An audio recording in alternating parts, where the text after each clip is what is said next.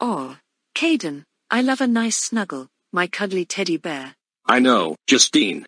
I love you so very much, but can you give me a little bit of space, please? Okay, Caden. And I see you're holding a picture. Is that you, Caden Jones, as a rabbit? Why yes it is. My YouTube name is Caden the Rabbit. That is so cool, Caden. Oh thanks Salia. Guys, can I show off another creepy smile video I made, please? Sure, Sure, Dom. Dom. Okay, here goes.